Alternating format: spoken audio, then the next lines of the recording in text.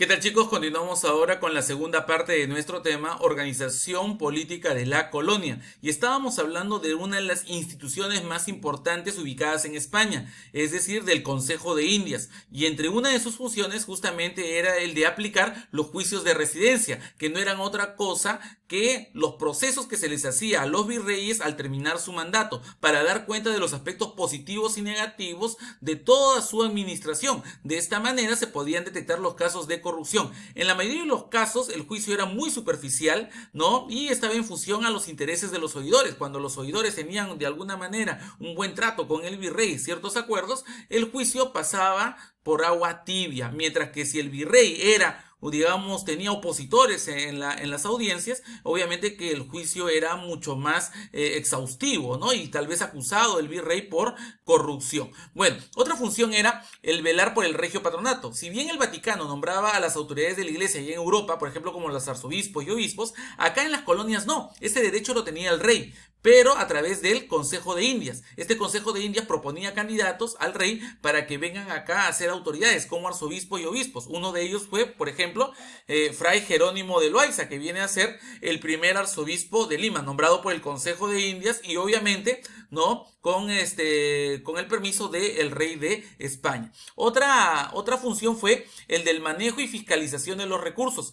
que llegaban de las colonias españolas, ¿no? De, de origen de ultramar, es decir, ellos administraban los tesoros que llegaban, pues no, las mercancías y tesoros que llegaban desde América. Muy bien, tenemos la imagen del juicio de residencia en la parte superior, ¿no? Que se le hacía al virrey, y tenemos la imagen del primer arzobispo de Lima, Jerónimo de Loaiza, cuyo, digamos que tuvo una labor importante con los indios porque construyó un hospital, el Hospital de Indios en Barrios Altos, que luego fue trasladado a la avenida Alfonso Ugarte con el nombre de Hospital Arzobispo Loaiza, que se encuentra en la avenida Alfonso Ugarte en el centro de Lima. Muy bien. Pasamos a la siguiente diapositiva y vamos a hablar ahora de la Casa de Contratación de Sevilla, que fue una institución creada por los reyes católicos, ¿te acuerdas? Isabel de Castilla y Fernando de Aragón, porque con ellos, digamos, eran los que habían eh, llegado a América, ¿no? A través de, de Cristóbal Colón, ¿no? Y ellos crearon justamente esta Casa de Contratación de Sevilla para poder controlar el comercio, entrada y salida de mercaderías de España. Ahora, la Casa de Contratación de Sevilla fue un órgano consultivo de los reyes para todo lo referente al comercio, o sea, las normas, no procesos, todo lo referente al comercio entre España y las colonias era regulado por la Casa de Contratación de Sevilla. Ellos se encargaban del tráfico mercantil indiano. Tráfico es comercio, mercantil se refiere al comercio de mercancías, no con las Indias. Muy bien, la casa conoció su mayor apogeo justamente en el siglo XVI con las inmensas cantidades de oro y plata que provenían de América y también con la gran migración de españoles a hacia América. Muy bien, a lo largo de la cual fueron fijadas su organización y atribuciones. Las atribuciones que tenía eran ordenanzas, que eran las normas que ellos daban. Esas ordenanzas eran obedecidas por todos los marinos o aquellos que se dedicaban al comercio, tanto en España como en América. Tenemos la imagen justamente de la Cámara de Comercio, Industria y Navegación de Sevilla en la Plaza de la Contratación. Por eso se llama Casa de Contratación de Sevilla. Actualmente algo parecido a la Casa de Contratación de Sevilla vendría a ser la Aduana del Callao o la Cámara de Comercio de Lima, ¿no? Muy bien, tenemos acá la imagen, un edificio que conformó parte de la Casa de Contratación de Indias en la parte oeste de la Montería de Alcázar de Sevilla. Esas eran las oficinas de la famosa Casa de Contratación de Sevilla en la época colonial. Muy bien. Ahora vayamos a otra imagen. Vamos a hablar ahora de las funciones de la Casa de la Contratación de Sevilla. La primera gran función era controlar el ingreso de las mercaderías o mercancías de España a América o que venían de América a España. No, esa era su principal función, poder registrar, controlar todas las mercancías que van de España a las colonias o viceversa. La segunda función fue regular la inmigración entre España y las colonias americanas. Es decir, todos aquellos que llegaban acá a América eran registrados primero en la Casa de Contratación de Sevilla y tenían que ser católicos no de, de varias generaciones, es decir, sus padres, sus abuelos, para que puedan venir. No es que estaba prohibido traer, digamos, eh, se tenía miedo de, traer, de que vengan nuevas religiones como la de los judíos, que al final sí llegaron. Bueno, se encargaba de trazar los mapas o cartas de navegación. Eh, estos mapas o cartas de navegación para las flotas y galeones. ¿Te acuerdas que las flotas era un grupo de barcos que iba de España hasta Veracruz en México? o también los galeones que iban desde España a América, específicamente al Callao. Ya, ¿quién trazaba las rutas de, esta, de, de, estas, de estas rutas, digamos, de navegación? ¿Quién trazaba pues estos mapas? Era la Casa de Contratación de Sevilla. Otra función fue la de concesión de licencias de embarque cobranza y administración de ciertos gravámenes sobre el tráfico. Los gravámenes son los impuestos, ¿no? En especial, por ejemplo, uno como la avería, fondo destinado a sufragar los gastos que originaba la protección de la armada. Habían barcos de guerra que protegían los barcos llenos de oro y plata. El impuesto que se pagaba para poder sostener a estos, a estos barcos que defendían, defendían las mercancías de los corsarios y piratas era avería, así se llamaba el impuesto. Muy bien, ellos daban las licencias para los navegantes. Ahí está la imagen, ¿no? De las ordenanzas reales para la Casa de Contratación de Sevilla. Muy bien. Otra función fue el de eh, también administrar justicia en pleitos comerciales. Cuando había situaciones de comercio donde habían ciertas disputas, entraba a tallar la Casa de Contratación de Sevilla para poner orden y solucionar los problemas. Otra función fue el reclutamiento de colonos para poblar las nuevas tierras. Justamente ofrecían incentivos para que españoles, especialmente pobres, vayan a América a colonizar los territorios para difundir el idioma español, la religión cristiana sobre todo y también las costumbres españolas, ¿no? Ellos eran digamos, aceptados en la Casa de Contratación de Sevilla y les compraban un pasaje para ir a América. Tenemos acá justamente el archivo de Indias en Sevilla, ¿no? Que es un archivo muy importante para los historiadores, ¿no? Para conocer mucho de la vida colonial. Esta es una antigua casa lonja, ¿no? Sede del consulado de las cargadoras de Indias, dependiente de la Casa de Contratación. Podríamos decir que es una sucursal de la Casa de Contratación de Sevilla. Muy bien. Ahora tenemos acá en, este, en esta pirámide justamente las autoridades, pero de América. ¿Cómo se llaman las autoridades que estaban en América? El virrey, como habíamos dicho, las audiencias, corregimientos. Se eliminan los corregimientos y eh, entran a tallar las, intendencias. Y terminamos con los cabildos. Sabemos que el virrey es la máxima autoridad dentro del virreinato, era el representante del rey, eh, digamos, acá en América, y tenía la, función de rendir cuentas al rey de todo lo que pasaba acá. Bueno, el, luego seguían las audiencias, que eran los tribunales de justicia. Eh, si ustedes recuerdan, el Consejo de Indias también actuaba, ¿no? Como última instancia de justicia. También lo hacían las audiencias. Muchos españoles que tenían juicios y habían perdido, ¿no? Ese juicio en, en las audiencias, acudían allá a España a el, Consejo de Indias. Muy bien. estas audiencias están conformadas por hombres, asesores muy capaces, intelectuales, llamados oidores. Se cargaban de resolver los asuntos legales y judiciales. En algunos casos llegaban a ejercer las leyes del gobierno, ¿no? Obviamente ellos asumían cuando el rey fallecía o no estaba o de alguna manera sabía, ah, o, digamos no estaba, no, no estaba en, el, en pleno gobierno. Muy bien, los corregimientos eran instituciones bajo el mando del corregidor, encargado de cobrar, de distribuir la tierra, cobrar los, digamos, los impuestos, ¿no? También de decretar penas, ¿no? Y poner orden en toda la región. Esos eran los corregidores. Intendentes, la, la intendencia eran, digamos, fueron creadas sobre los corregimientos. Los corregimientos fueron eliminados debido a su gran abuso.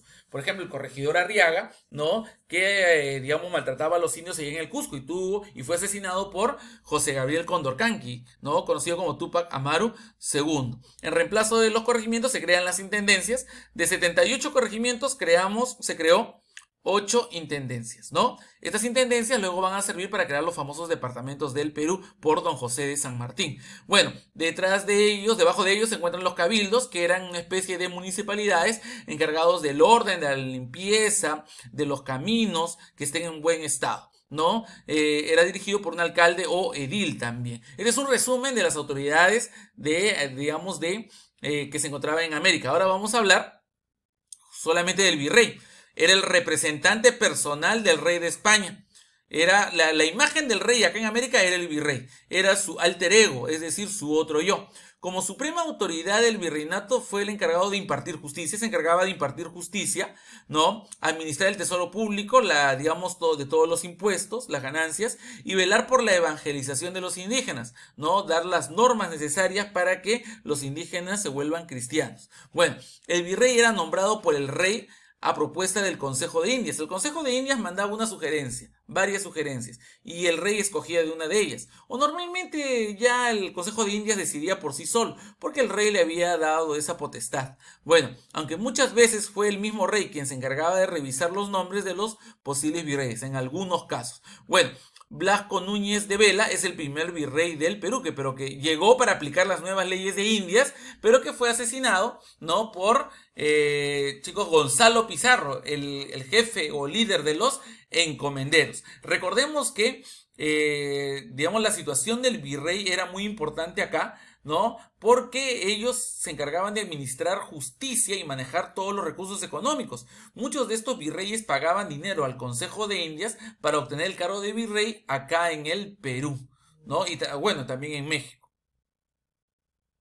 Ahora vamos con las funciones, ¿no? Las funciones del virrey. Bueno, las funciones del virrey son las siguientes. Primero, políticas. Era el jefe de gobierno colonial, con todos los derechos y obligaciones.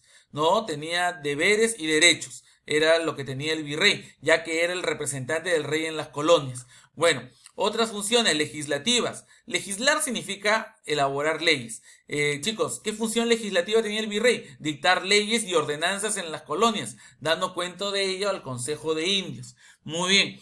Las funciones judiciales ejercía la presidencia de las audiencias, porque recuerda que la audiencia era la máxima instancia judicial acá en América. ¿no? Y él también asumía ese cargo, era como un oidor más, ¿no? Los militares, las funciones militares, era el jefe supremo y capitán general en el virreinato. ¿Quién estaba, quién estaba al mando de todo el ejército español acá en América? Ah, era el virrey. Justamente tenemos un dato importante, en el Perú existieron 40 virreyes aunque tras la salida del último virrey José de la Serna, que fue derrotado en la batalla de Ayacucho por Antonio José de Sucre, asumió Pío Tristán, pero que realmente no pudo asumir su cargo, ¿no? Porque ya estaba todo perdido, ya Bolívar y Sucre habían vencido en la batalla de Ayacucho, ¿no? Y las plazas militares de todos los españoles se rindieron y tuvieron que retirarse. O sea, nunca hizo efectivo su, su gobierno Pío Tristán porque el virreinato había acabado prácticamente. Bueno, ahora sí, tenemos justamente el Palacio de los Virreyes de Lima, que viene a ser el Palacio de Gobierno. Bueno, el antiguo Palacio de Gobierno, no es el que está ahora. Hubo 40 virreyes y en 13 casos en total asumió el poder virreinal de manera interina el oidor decano. Es decir, que a veces el virrey moría, ¿no? O viajaba y asumía el principal oidor. Este oidor se llamaba decano, el oidor decano, que ejercía de presidente de la Real Audiencia. Recuerden que la audiencia era una asamblea de oidores. ¿También el virrey participaba de la audiencia? Sí, como presidente de la audiencia. No, pero en vista de que no esté el virrey, recién asumía el oidor decano. De todos los oidores, el principal el oidor decano. En tres ocasiones asumió el oidor decano para reemplazar al virrey. Y en dos veces, en dos casos, asumieron eclesiásticos. Por ejemplo, asumió como virrey del Perú Diego Ladrón de Guevara, que era el obispo de Quito. Y también asumió Diego Morcillo Rubio de Uñón, que era el arzobispo de Charcas, actual Bolivia. ¿No? Bueno, esos son los datos importantes que tenemos. Otras funciones fueron económicas. Era el encargado de la fiscalización de la hacienda. Cuando hablamos de la hacienda nos referimos al dinero que tiene el gobierno, ¿no? Era como un ministerio de economía, ¿no? El virrey era el encargado también de manejar el dinero y todas las cuentas, ¿no? ¿Qué dice acá? Era el encargado de la fiscalización de la hacienda, de todos los ingresos. Controlaba los ingresos a que venían de los impuestos, los tributos, aportes, que recibía el Tesoro Real y ordenaba la acuñación de monedas. Este dato es importante. Quien ordenaba elaborar las monedas era el virrey. Acuñar significa en este caso elaborar las monedas. Religiosas, funciones religiosas. Ejercía el vicepatronato de la Iglesia Católica, lo cual lo facultaba a nombrar autoridades. Como él era el representante del rey, era el quien nombraba autoridades de la iglesia menores. Por ejemplo, en algunos casos, eh, cardenales, párrocos, ¿no? En distintas regiones del Perú. Bueno, tenemos acá un dato importante. El virrey del Perú residía en la ciudad de Lima, en el Palacio del Virrey, lo que actualmente es el Palacio de Gobierno, en el suntuoso Palacio de los Virreyes, así se llamaba, rodeado de una brillante corte, ¿no? En medio de gran lujo. La corte viene a ser todos los asesores, la familia, ¿no? Y todos los que viven en el palacio para atender al virrey. A ver, en medio de gran lujo, riquezas y resguardado por una guardia de honor. ¿No? Durante la existencia del virreinato hubieron 40 virreyes. Ahora, otro dato importante. Dentro de las atribuciones del virrey está la presidencia de la audiencia de Lima. La presidencia, ellos asumen la presidencia y se sientan en la parte frontal, en la cabecera de la mesa. Bueno, eh, vamos ahora a hablar de los datos de algunos virreyes, pero para eso vamos a hacer una pausa porque luego vamos a